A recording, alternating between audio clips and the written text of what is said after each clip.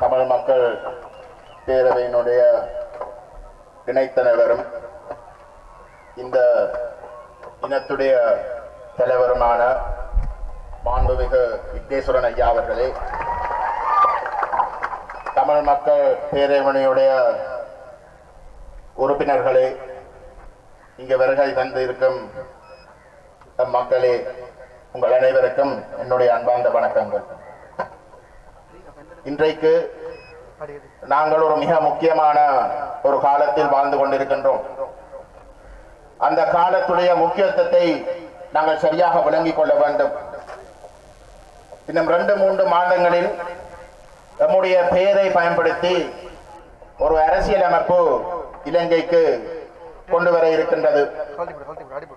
அந்த அரசியலமைப்பு கொண்டு வருவதற்கான ஒரே ஒரு காரணம் ஒரு கொடூர யுத்தத்தை நடாத்தி பயங்கரவாதத்தை அழிப்பதாக கூறி ஒரு இனத்தையே அழித்து அந்த இனத்துக்கு அந்த போராடி கொண்ட இனத்துக்கு ஒரு உரிய தீர்வை கொடுப்போம் என்ற வாக்குறுதி உலகத்துக்கு கொடுத்திருந்த ஒரு நிலையிலே தான் இன்றைக்கு ரகசியமாக இந்த அரசியலமைப்பு தயாரிக்கப்படுகின்றது. அந்த அரசியலமைப்பில் ஏனைய நாடுகளில் ஒரு புதிய அரசியலமைப்பு உருவாகுவது என்றால் அது மக்களோட பேசி மக்களுடைய கருத்தை உள்வாங்கி மாத கணக்காக மட்டுமல்ல ஏன் வருஷ கணக்காக அந்த மக்களுடைய அபிலாஷைகளை முற்று முழுதாக பூர்த்தி செய்யக்கூடிய வகையிலே அந்த அரசியலமைப்புகள் உள்வாங்கப்பட வேண்டும் அரசியலமைப்பு என்பது வெறுமனே ஒவ்வொரு மாதமோ இல்லாட்டி ஒரு அரசியல் அமைப்பு என்றது அந்த நாட்டுடைய அனைத்து மக்களும் ஏற்றுக்கொள்ளக்கூடிய சொந்தம் கொண்டாடக்கூடிய ஒரு அமைப்பு. ஆனால் இன்றைக்கு அறுபத்தி ஐந்து வருடங்களுக்கு மேலாக எத்தனையோ தியாகங்கள் செய்து ரத்தம் சிந்தி அழிஞ்சு போயிருக்கின்ற இந்த மக்களுக்கு நீதி கொடுக்கிறதாக கூறிக்கொண்டு கொண்டு வர இருக்கின்ற இந்த அரசியமைப்பில் எங்களுடைய பிரச்சனைகள் தீர்க்கப்பட போகின்றதா என்பது ஒரு மிக பெரிய கேள்விக்குறி. அது கேள்விக்குறியாக இருப்பதற்கு என்ன காரணம்? உண்மையிலே இந்த மக்களுடைய அபிலாசைகள் முற்றுமுழுதாக ஏற்றுக்கொள்ளக்கூடிய ஒரு நிலைமை இருந்தால் ஏன் இந்த ரகசியம்?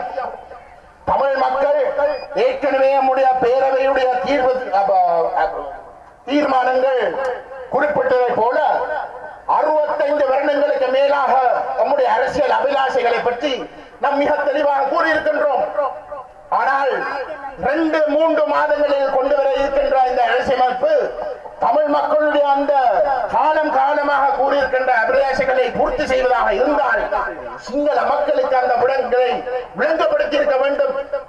அதுக்கு மாறாக இன்றைக்கு சிங்கள தலைவர்கள் தங்களுடைய சொந்த மக்களுக்கே கூறி வருகின்ற வாக்குறுதி என்னவென்றால் ஒரு ஒற்றையாட்சி தீர்வு மட்டும்தான் வழங்கப்படும் என்று.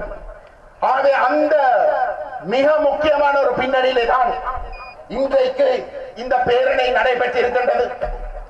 இந்த பேரணி ஒரு கொடூர யுத்தத்தை நடத்தி இந்த இனத்தை அழித்து இந்த இனம் அந்த அழிவுக்கு நீதி கேட்டுக் கொண்டிருக்கின்ற ஒரு நிலையிலே அவர்கள் நிறுத்தவர்கள் அந்த ஒரு இன அழிப்பு ஊடாக எங்களுடைய முதுகெலும்பை உடைத்து எங்களை அமைதியாக்கலாம் என்று ஆனால் இந்த பேரணி நாம் ஒரு மிக தெளிவான செய்தியை கொடுத்திருக்கின்றோம். நம்முடைய அரசியல் அமைப்பில் எங்களுடைய அரசியல் அபிலாஷைகளை பூர்த்தி செய்யாவிட்டால் இந்த பேரணி வளரும். இந்த பேரணி யாழ்ப்பாணத்தில் மட்டுமில்லை தமிழ் தாயத்தில் இருக்கக்கூடிய ஒவ்வொரு இடத்துக்கும் செல்லும்.